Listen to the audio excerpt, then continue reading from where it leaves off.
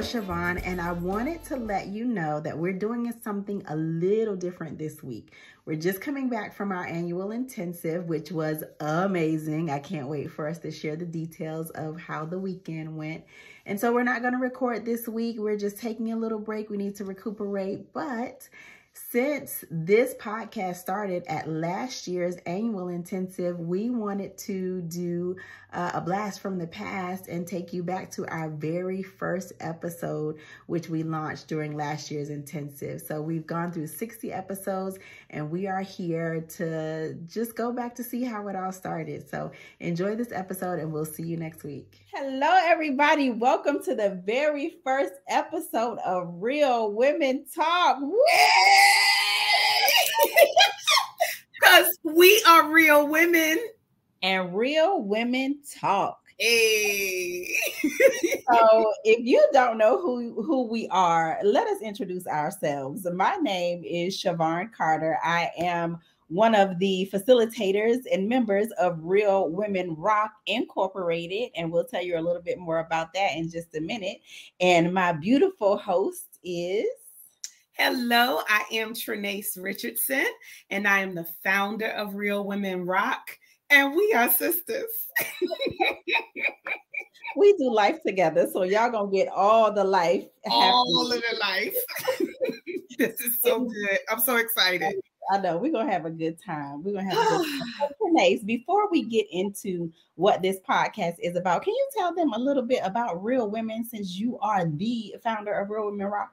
Of course I can, y'all. So, Real Women was founded in 2013 and we exist to create safe spaces for women to do personal development work on themselves. We call it soul work. And as a result of that, we do it in sister circles. So we host in person and virtual sister circles across the country and abroad. Uh, we are based in the Washington, D.C. metro area, um, and we are growing outward uh, in a big way. And one of those ways is this podcast. Yes, yes. So we have I have been a part of Real Women since the beginning also. So Trinae started in 2013 and I um, was at one of the very first sister circles. So sister mm-hmm. circles is what we call them when we get together and we do soul work, like Trinae said. And we wanted this podcast to be an extension of the Real Women Sister Circle experience. So when you mm-hmm. come to a sister circle, it's a private session, it's not recorded. Nobody, we can't give you a snippet of what happened in the circle because we want to create a safe space. We mean that literally. We want to have a safe space where women can just come in, be themselves, take off the mask, the titles, and just talk about what's going on in their lives. And so people are always trying to figure out what's going on and we can't really share too much. We can share the experience and overview of it, but we can't talk about, you know, the nuts and bolts of what we talk about. You had to be there just to experience it. and we want everybody to be able to experience a real a real women's sister circle. But mm-hmm. if you can't, here's a little extension of it so you can get a feel for what it's like. So that's what this podcast is all about. Our goal is to have real honest dialogue about topics that impact women. Mm-hmm, mm-hmm. I feel like we are giving you a sneak peek into what it is that we do in Real Women Sister Circles through this uh, avenue. There will be a lot of us talking and doing some sister share. We'll invite some sisters on sometimes to do some share. Um, and it's going to be real talk. It's going to be authentic, exactly what we're thinking and feeling, and non judgmental, because who mm. needs that, right? so. Enough of that going on in the world. Absolutely. What do you think we want folks to feel as they're listening and, and experiencing us? Yeah, so we want them to feel one understood. We want mm-hmm. you to be mm-hmm. like, you know what, you mm-hmm. get, you understand me. You know my mm-hmm. life.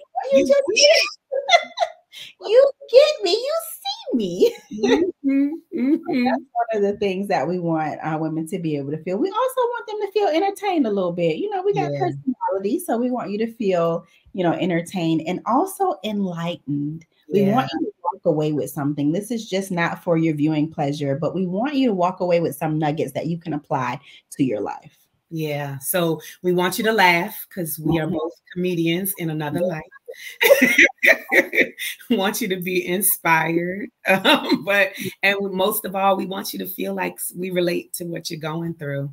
Yeah. Um, so I, I just think this is an avenue for us to really connect in another way on another level with a lot of women. Absolutely. Absolutely. Mm-hmm. So let's get into it. So yo, we got some segments, right? Because we gotta have we can't have a podcast without segments. So this first segment, and we'll walk you through each one so that you'll get a feel for how the podcast will be structured. But this first uh, section or segment is real talk. Mm. Mm. In this segment, we're just going to highlight some things that might be on our mind, maybe something that mm-hmm. happened on the weekend, or just an instance where we want to share with you real talk. This what happened to me today. You know what comes to mind when I when you say that, like when you're in a conversation with somebody, you're like, okay, so real talk, like, right? like for real, for real, what happened for real? so Right. we just get to kind of just let out whatever happened between the last time we had the podcast and this one, we get to share it. So I love exactly, that. Exactly. So this real talk moment, since this is our first episode, we want to do some real talk about who we are as mm-hmm. individuals. So Trenace, let's start with you. Real talk. Who are you? Oh, okay. So so real talk. Mm-hmm. I am this and that. Yep. Right. So, yep. if you have ever experienced real women, uh, one of the things that we have learned together, that we have kind of ha- latched onto together, is that we are this and that. Shout out to our facilitator, Sherry Phaeton. Uh, yes, hey girl, hey, who introduced this to us. But the idea that it is okay for me to have different aspects of me to mm. express myself in different ways to to show different expressions of me because they are all me so i am a preacher and i have been a church girl all my life and uh, love that aspect of me love that expression of me and not but and saying I am I am just as righteous as I am ratchet. Meaning I am a full grown woman who has thoughts and and um and feelings and not afraid to express them and I've had to evolve to that because I thought as a preacher I'm not supposed to, you know, as a Christian, others, you know, can can put themselves under that umbrella. I'm not supposed to have certain thoughts or feelings, but I do. I still have them. And mm-hmm. so I'm this and that. And so I'm a preacher, I'm a singer, I'm a creative, I write, um, I'm a mom. I have two beautiful children who are not babies anymore. Mm-hmm. Uh, they are 14 and 27 at the time of this. so just, oh, oh. um, and um, I am a wife of 24 years. Everybody watching, everybody listening should be clapping right now. Just go ahead and right now. that is two dozen. I'm just saying that was two mm-hmm. dozen Krispy Kreme. So mm. we've been um, we've been through roller coaster rides, ups and downs, and we're still here. I'm so appreciative to him and his support of all the things that I do. Um, and so I've got a lot going on. I'm an administrator at a college, and so I'm really proud of being a leader um, in education as well. And there are different aspects to me. I think if I had to answer it and sum it up, I am this and that. Yeah, yeah, that's yeah, it. yeah. So Sherry blessed us with that so oh much, David this and that because it makes so much sense. Yeah, it makes so much sense. And even I've begun using it when it's just how I'm feeling that day, even, you know, like I'm, it's okay for me to feel upset or bored or angry or sad because I'm this and I'm that. And I, there's like, there's no, you know, I'm going to experience joy, but right now, this is how I feel. And it's okay to be right here where I am. I'm this and I'm that in so many ways that has blessed me. Yeah, that's good. Mm-hmm. And that. Period. Yeah. So, um, so, so, Shavon. Okay. Real talk. Real talk. Who are you? The girl, let me tell you who I am. I Tell me. My core, the essence of me, I am serenity, I am solace, I am brilliance, I am delight, I am love. That is who I am at my core. That is delicious. Delicious, right? That's yummy goodness. Um, I had to go through this exercise when I was going through my coaching program, and that's one of the things that we had to do, like this essence exercise. So I really took that, like we had to, you know, pull out those words that define who we are at our core, and I really took that to to um, took that home. But and not but and I am multifaceted. I am ratchet. I am from the South. I am a Florida girl. Um, I am a lifesaver. That's mm. what I mm. call it. I mm. savor life. I love to live out loud. I am unapologetically me. I'm going to do what I want to do when I want to do it. And y'all um, hear me? That's showing up the truth. Okay, I'm just saying you know, I lived in a box for so long, and we'll talk about that at some point. That I am out of the box and I love it out here. Like, I will not be put in a box. I will not be limited. I will be who I authentically am. And that's just it. And so, mm. and I don't apologize for that. So, I'm from Jacksonville, Florida. I live in the DC area. I am a leader in the federal government. I am an author. I'm a publisher. I am a business owner. I am a significant other. Mm-hmm. I'm a mm-hmm. daughter. Um, I don't have any children, so I am living a child free life. Mm-hmm. And I love to travel. I love to eat. I love to eat. yes, you do. You do. You do. I love this. Oh, I love this because I get to hear us declare, kind of just yeah. express who we are, who we have experienced each other as. Yeah. Um, as well. So thank you yeah. for that. You made me think about I love frogs. That's a whole thing that people uh-huh. don't understand, but yeah. we can get into those things later. They just make me happy because people um don't like them and they're so they're yeah. underdogs, you know, and I'm like, but and then they go through so much change and metamorphosis. So I love yeah. outdoors and nature. Yes, we get to express all of who we are on this thing. And I've never heard you talk about the frogs and why you love them. And that's so beautiful because I am people. I do not.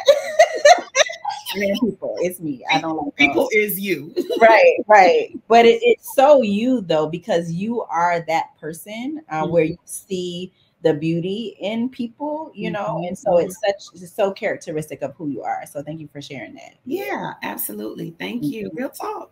Yeah, real talk. Real talk. So we'll do that every week with different things that just are on our heart to share. So, mm-hmm. so stay tuned for that. All right. So let's get into our next segment, deep dive. Oh Lord. We're going to come deep diving. So, the, in this segment, we expound on a nugget that was shared in maybe the most recent sister circle or maybe a previous sister circle that we've had in Real Women. And we just go into a little bit of depth on this show, maybe some nuggets that we pulled from it, a highlight or something that really hit us, hit home for us that mm-hmm. we want to talk about, you know, individually and together. So, mm-hmm deep dive. Can I go? Can I go deep? Can I? Uh-huh. Yeah, we're gonna get we're gonna get into it. we're gonna get into it. Let's go on and take a dive. So, um, let we're starting this podcast off inaugural episode. So let's just can women get along? Mm. talking about real women. We're talking about sisterhood. We have these sister circles. Um, and we are bringing women together. Our effort is to bring them together in a safe space, in a non judgmental space. And so we have discussed this at length in, in Real Women, and yeah. we are extending this to you. And we would love to know what your thoughts are um, on whatever platform you're watching this while we share. Um, can women really get along? And so just thinking about your journey with women Shavon, what what are your thoughts? I'll share mine with you after, but what have what have you what has your journey looked like as it relates to women?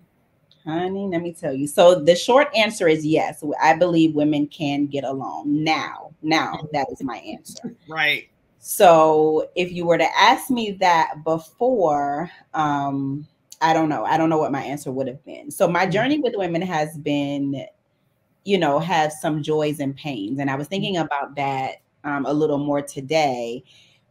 One, I grew up as an only child. Yeah. So I am used to being in my own little world. Mm-hmm. Nobody bother me. I'm used to doing my own thing, which is probably part of the reason why I just do me, you know. Yeah. And I, I I had girlfriends in high school, you know, grade school. I had a best friend and all of that. So I had, you know, relationships with women but it wasn't until I went to college and I had to have roommates is where the dynamic started to shift with mm-hmm. women because I wasn't used to living in close proximity to women. Like my mom was there, but she ain't paying me no mind. She was in her room doing her own thing or right. just leaving me be. Mm-hmm. So I didn't have to deal with interacting with women on a close, you know, uh, intimate level as it relates mm-hmm. to having a roommate. So that's when the dynamic started to shift for me because I'm used to being in my own little world and I'm not used to having to communicate when someone else wants to communicate. I, will do it mm-hmm. when when it's time for me and when I feel like it. But mm-hmm. you know, when I have a roommate who is happy go lucky and wants to talk in the morning, and I do not all the time. I didn't know how to navigate that. So I would just shut down. I would stay within. And then my roommate is like, Well, what is going on with you? Mm-hmm. I don't want to talk about it. Now she thinks something about me. Now I feel misunderstood and now I create emotional distance between me and women. And so Can I, I say something real quick about that? That, yeah. that is so interesting because what you just said, there's a whole judgment happening on her end. Yeah. And it just hasn't been discussed. So now she think you stuck up or whatever. Yeah. And you just have a whole makeup where you haven't had to do this before. That's like really enlightening for me. Go yeah. Ahead. Yeah. Mm-hmm. And she was just like, you know, she believes you're supposed to talk even when you should you don't feel like it. And I'm like, no, I don't want to talk, but I didn't communicate that. So I just I'm just quiet. Yeah. So now I seem moody, I seem distant, you know, I seem unapproachable when mm-hmm. really I am wrestling with I am in a space that I don't want to be in. I just want to be in my own space, but I don't know how to communicate that. Mm. I don't mm. know how to articulate that. And so that created me being around women and having fun and doing all these things, but the emotional distance. Mm. So we can be in the same house, but not be close.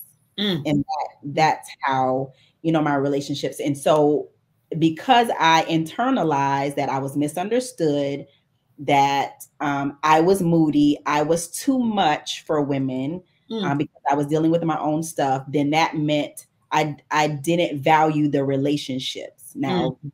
I had friends, like I said, but it wasn't the close relationship. They didn't get me. Yeah. I didn't think they did. And so that that morphed into me wanting women around, but not really. So it's mm. not not valuing the relationships with women until I started to go through life. Life started to happen and I realized that I really needed women. Yeah. So it was it was a journey for me to get to the point of yeah, I need women in my life and women can get along. Yeah. Wow. Wow. I can see threads of similarity mm-hmm. with your story and mine um I, because I grew up with brothers in the mm-hmm. house um, and a very close large family um, as well as a large church family i was always connected to people growing up so i didn't have that same level of isolation that you felt yeah um, what that ended up doing for me and it's so funny how two separate scenarios right yeah. but it can yield some similar stuff i guess mm-hmm. um, it's crazy so mm-hmm. what i felt was i've always been this overachiever um, i've always wanted to do really well and i i kind of track that back to wanting to to really please like my daddy and you know who wasn't always in the home and that kind of thing so I've always wanted to please. So I'm doing well in school and all that kind of stuff. And all of that was applauded in my communities, in my family, and in my church. And what ended up happening was, as kids my age, especially the girls my age, mm-hmm hated on me. You hear me?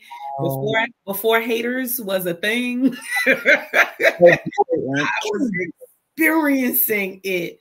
And it just felt so unfair. Like i would come home from choir rehearsals or theater just crying because people you know you think you all that i i just want to be your friend you know? It's kind of just you to like me. Um and so I, my feelings were constantly hurt. And so what i ended up doing was trying to fit in. I ended up dimming my light and trying to do what everybody else I, I remember telling some of my cousins that I'd had sex before I'd actually had sex because wow. they were having just crazy. to fit in with them, yeah, and be able to have conversation like I'm not too high and mighty. I've had, you know, just yeah. if you'd have asked me how it happened, I wouldn't have been able to tell you. But, but it's so crazy, yeah. Um, and it was probably in young adulthood, um, college age. Flip side for you, that mm-hmm. I began to embrace sisterhood. Wow. Because, girl, right? So because I joined a sorority, okay. um, I was away from the people who you know, I keep using that word, but hated on me. So I'm starting a new and a fresh, and people received me well mm-hmm. in college. And so it was a it was a opening for me, an opening of a door for me for sisterhood in college. And then when I got married, I don't know where this thought process comes from, but somewhere down the line, I thought once you get married, you got to forsake all others, not just other millions, but yeah. Everybody. Yeah. Have friends no more. You know how you've experienced yeah. those women and like she disappeared, girl. She got right. married. We ain't seen her no more. That was me. And I believe me, please. You think you know it's literally it's like, oh, I can't go talk to nobody else but my husband. Yeah. Right. Yeah. Uh-huh. I can't go, I can't to go to the party. You know, I can't go to see my visit my friend out of town no more because I got a husband and you right. know that kind of thing. And so people literally were like from college, y'all heard from Trenace? No, she she got married. She did, and then I did it in 90 days. So it was like, like she got what? I just talked to her. I just talked to her. Oh, so so I I abandoned a lot of my sister relationships that I mm-hmm. had built that I treasured, but thought, you know, I did I prioritized my marriage over them. And Greg wasn't even asking me to do that. I just right, did it, you know. Yeah. Um, but as a result of that, I was out here still trying to be overachiever and impress and all that kind of stuff, but on a leadership level now, isolated. So mm. it took me isolating all the way on the other end mm-hmm. because I did not have these sister relationships to to be safe around to hold me up when I'm, you know, out here as a leader. I thought I got to pour out instead of yeah. so I, and I didn't think I could trust anybody with my most sacred personal thoughts because I'm a leader out here mm-hmm. in in different ways. Mm-hmm. Um, and I guess it wasn't until Real Women that I really just started really opening up in a mm-hmm. real way um, with mm-hmm. women. So I that's been my my women journey. It's sort of mm-hmm. flipped on its head for both of us. Yeah. I guess I'll answer the short answer now. I do believe women can get along, but my adult take on it is it has to be in a safe, non-judgmental space yeah. where we are putting our thoughts about what's right and what's wrong and all that on the back burner for, mm. for the sake of this woman's um, sacred space. So yeah. we are we are creating a place for her in our lives mm-hmm. that is and and we can get to the point where we're like girl don't do it don't do it you know that kind of stuff but it that has to be created and cultivated mm-hmm. and that mm-hmm. can't be done until you a, a, woman is able to show you her scars or her ugly mm-hmm. side and you're able to say i i receive you and accept you anyway yeah yeah yeah yeah you know what that makes me think about so one that's what my current inner sister circle is. Like Trenace is a part of my my current mm-hmm. inner sister circle, and Ashley and Neff are mm-hmm. our other sisters. Mm-hmm. And because I was dealing with so much self judgment, self condemnation, I needed to be around women who saw through who I saw myself as mm. and saw me as the the beautiful, amazing woman that I am, mm-hmm. and allowed me to organically open up. And it was just like y'all was just like, yeah. It, it was like y'all were pouring into me and telling me you're fine the way you are. You mm-hmm. know, your experience has been with women, we're not here bringing that type of energy. Like mm. we just want you to be like it was a call forward for me to mm-hmm. just be my authentic self. And it mm. took a while for me to open up, but there was so much patience and grace, you mm. know, in that space to where it was just like, okay, mm-hmm. safe here. Mm-hmm in the water, be like, okay. Mm-hmm.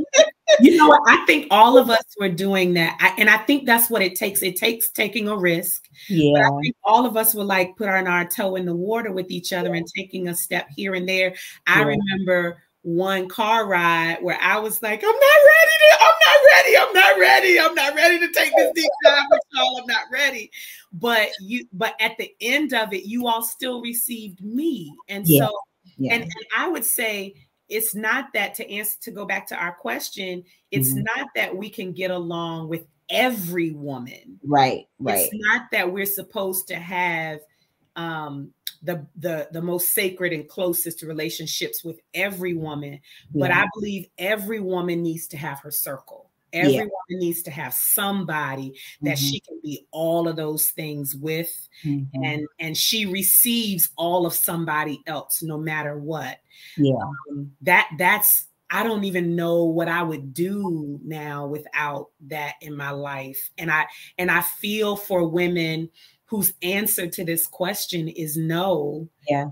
Because they have been hurt mm-hmm. and they have been broken their trust has been broken. They have been judged when they thought it was a safe space and they put themselves mm-hmm. out there. They got talked about. Like there's so many horror stories mm-hmm. that we've seen and experienced. And it takes us being that for somebody, and mm-hmm. it takes us venturing out to be that and mm-hmm. allow somebody to be that for us. It's just yeah. it's it's magical on the other side if you can dare to do it. Yeah.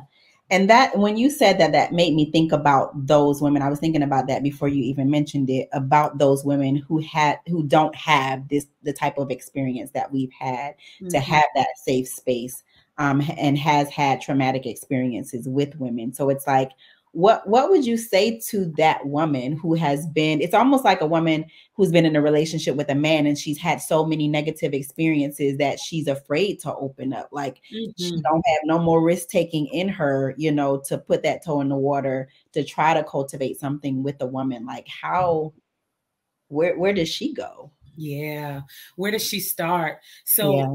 I, I i i'm gonna say three things come to mind and some you know somewhere it might feel or sound cliche but i'm still going to say it because I, mm-hmm. I believe it to be true so i'm first going to say it has only helped me to process my trauma my issues in counseling and whatever that looks like for you to be able to release and talk through things that you've been going through because if not i would have been holding things in mm. and never processing what I was going through so that I would have never even felt safe trying to express myself to anybody else, right? But the more I've been thinking and processing and and getting some good counsel from a counselor, I think it has helped me articulate my thoughts a little bit better to someone I'm willing to take the risk to. So yeah. I would just say starting with processing your own stuff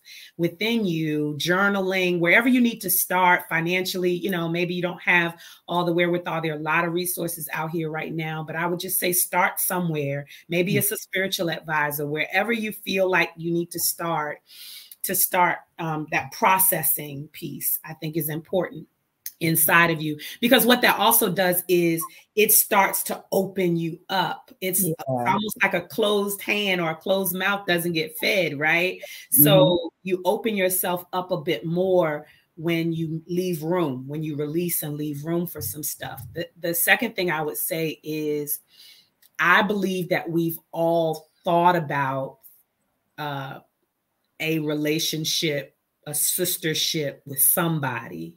Mm-hmm. And, and that has it's either been an opportunity that we haven't ventured on or um, we haven't taken the risk. We see, you know, see somebody who just looks pleasant in a class yeah. that we're taking or at church, or you know, we we go to the store. I have invited women that I at work that I didn't know well, that I want to know well, invited mm. them for coffee. I yeah. mean, at the very least, it'll just be coffee. We'll never talk again because we didn't connect well. But we've decided coffee a month, you know, is going to be our thing because we connected in a way that allowed us to want to continue. So I would just say if you've seen someone, if you've gotten a gut feeling, take the risk and invite her. Just do mm. something low risk for you right. Um, you know something temporary low risk for you that would allow mm-hmm. you to venture out um, and and do something different with that. Um, i'll stop with those two. Anything you can think of? So when i think about me um, and and what that would look like putting my yeah thinking about that from from that person's perspective definitely counseling that that was mm-hmm. helpful for me mm-hmm.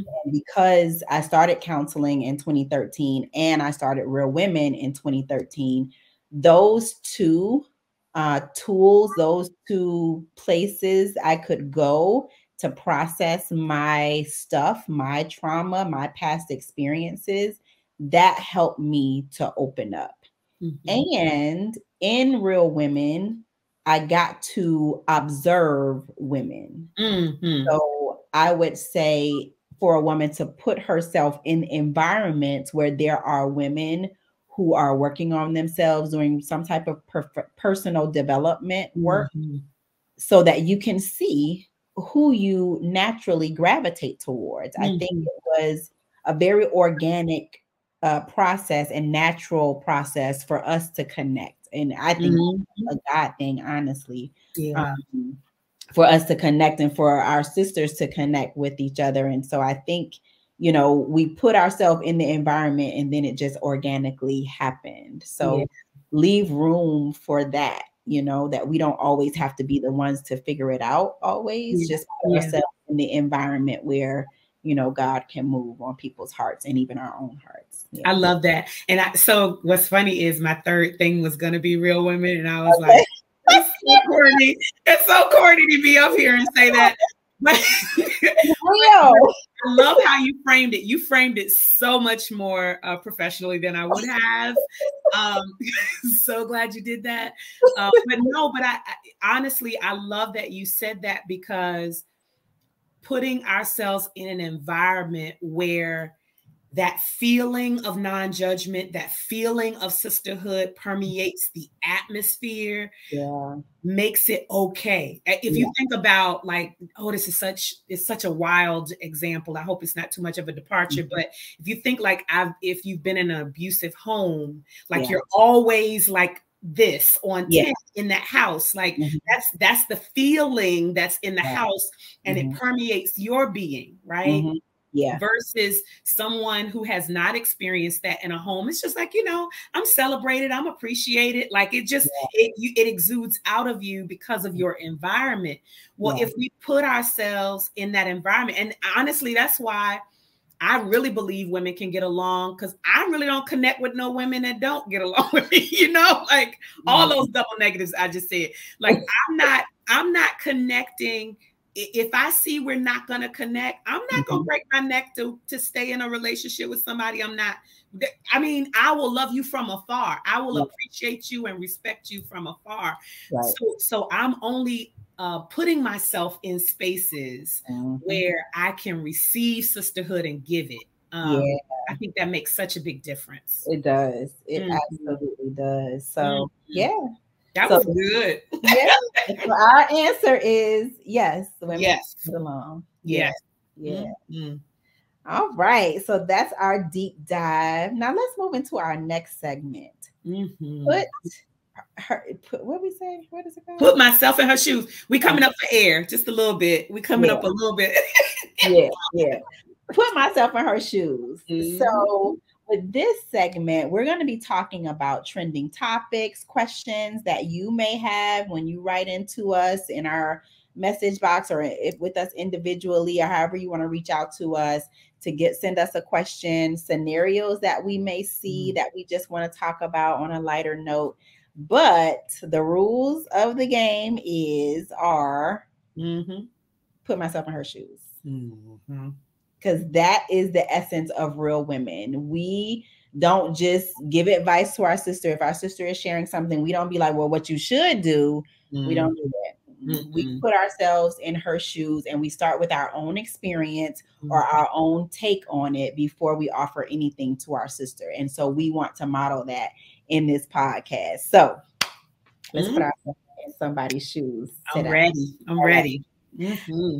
Okay, y'all. So if you are, you know, in the social media world, if you listen to radio in the morning when you're driving to work, you may have heard about this story from Stra- Shirley Strawberry on the Steve Harvey Morning Show, mm-hmm. whose um, phone conversations with her estranged husband, who is uh, in jail right now, were leaked mm-hmm. for public consumption months worth of conversations and they have been released you know on a um a weekly basis. Just private conversations. I know they're being recorded but they're private conversations and just people are weighing in on them. Just all the kind of stuff that you can think about are in conversations we're in these and it's just so mm-hmm. unfortunate. And so the question is what let me see hold on question what did i say how would you handle your private conversations, your pillow talk with your significant other,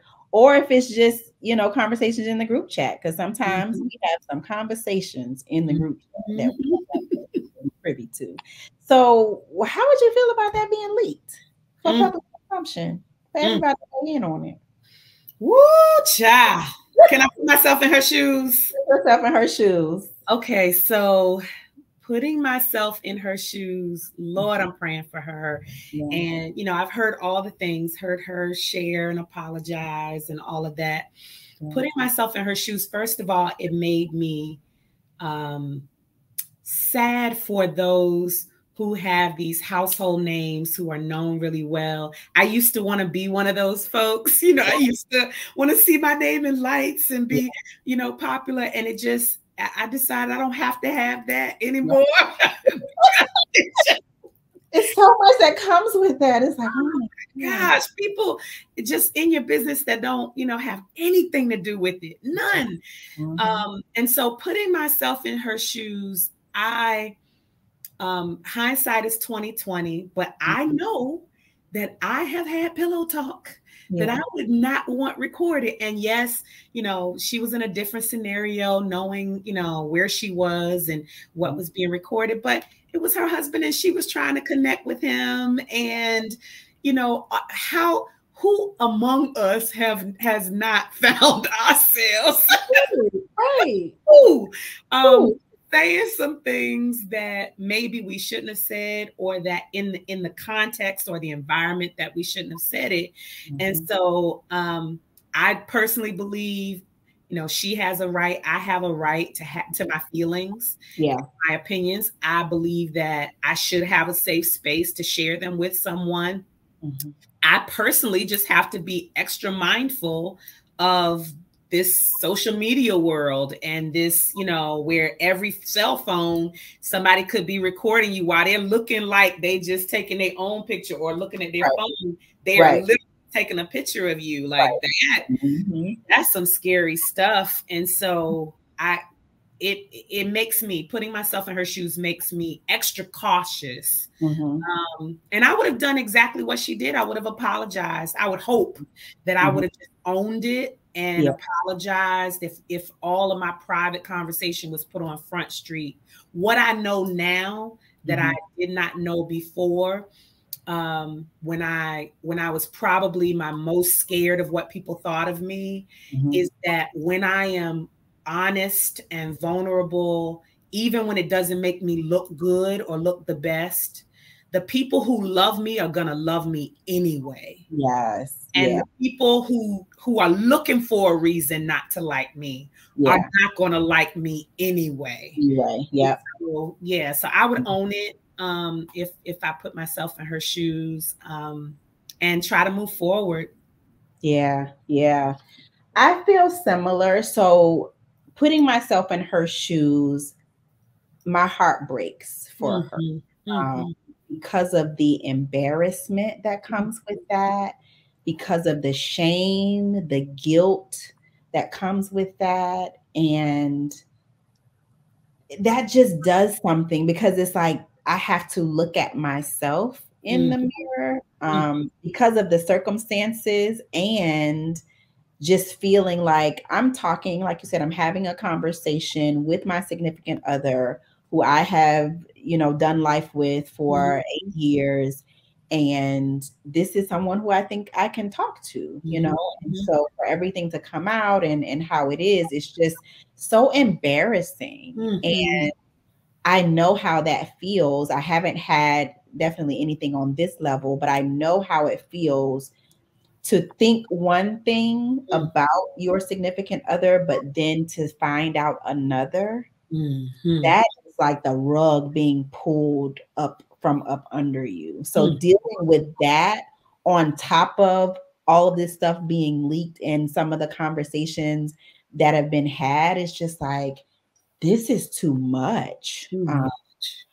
I, I think that I would just want to go away and retreat somewhere, Mm. you know, just to get find my bearings because Mhm. all these voices would just, you know, take me under, you know what I mean? And and just the depression and all of that. So I just wouldn't be able to stay connected, definitely to social media. I wouldn't be able to stay connected because it's just too many voices, too many Mhm. negative, you know, too much negative energy that's permeated over and over. You see the the blogs and the the headlines and all those things. So I wouldn't be able to heal in that environment. Um, Mhm. And so I would have to kind of steal away and disconnect um, and and just hopefully lean on the people who are offering me grace in this season, who are there 10 toes down in in the midst of what I'm going through and you know find find solace in just like God please help me you know Mhm. Mhm. yeah Whew. So our our thoughts and prayers go out to her.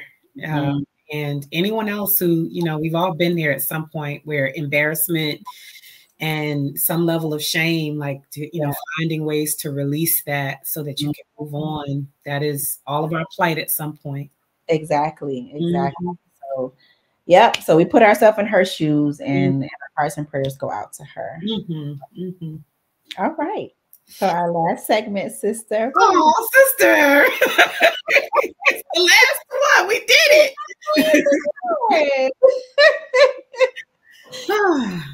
Mhm. So, this last segment is going to be a spiritual nugget. Um, we are um, faithful women, like we are full of knowing that um, God is with us. And for you, that remember, there's no judgment here. So, whatever expression of God that is for you, whatever spiritual nugget ex, you know whatever aspect of spirituality you can take from this um, we want we want that for you it's our gift to you and it's just a nugget to think about um, and honestly sometimes it'll come from a christian perspective sometimes it'll come from another faith tradition and sometimes it'll just be a, a nugget of wisdom that we can can kind of walk away with. And again it's not us uh, uh, telling you or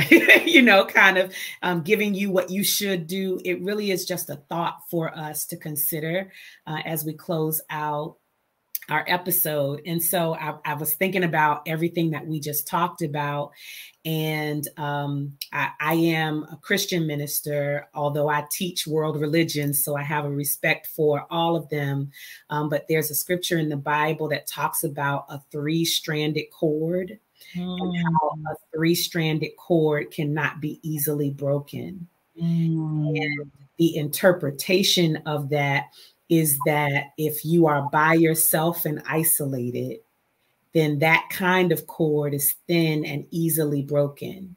Mm. But to have other cords, so other people, um, to have you know a faith in god that will hold you and sustain you um, in a relationship you know wh- whether it's you and your boo or your partner and god whatever you interpret that as isolation is a breeding ground for brokenness mm. isolation is a breeding ground for brokenness mm. um, and and so a three stranded cord allows us to know that we need to have at least one or two places we can go, mm-hmm. um, one or two safe spaces, one or two um, community members, whatever whatever that seems like to you as a stronger bond that will hold you together in those most difficult times, mm-hmm. and in turn, you can be there for that other person in that other scenario when they when you are needed, when they need you. I would just hope that we would all find our strands, that we would not be isolated cords out here, um, so that we can, because at our essence, the last thing I'll say is at our essence, we are whole. Our mm-hmm. expression of ourselves is aspects of who we are, mm-hmm. making up a whole being. We mm-hmm. are, we are whole. We are whole. And so the way that we can express that in life is to connect with other people who lift that up out of us so that we're always reminded that we are, you know, we are beautiful no matter what's going on, that all of those things that are in us um, are, are there, regardless of what we are thinking and experiencing within mm-hmm. ourselves. A three stranded cord is not easily broken. Real talk. That's yummy goodness. That's yummy goodness. Mm. Selah. Yeah. Selah. Selah. Yeah. This has been good. We, did our first episode. yes. This has been real women, real talk. Yeah, like, really. yeah. This is what it has been, and this is what we wanted it to be. So yeah. we just gonna grow from here, y'all. We yeah. Excited. Yeah. We'll mm-hmm. see y'all soon. We are real women and real women talk. Yes, they do all mm-hmm. day.